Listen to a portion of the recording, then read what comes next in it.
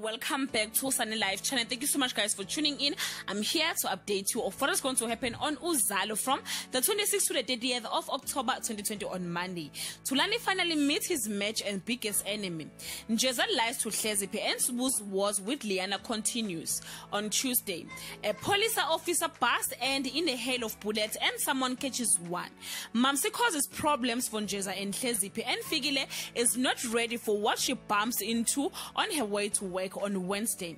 The aftermath of the shootout is messy as the police hunt for the shooter and Kunzi sort out a liability. Mumsy's situation forces her into a corner. Figile comes face to face with a nemesis on Thursday.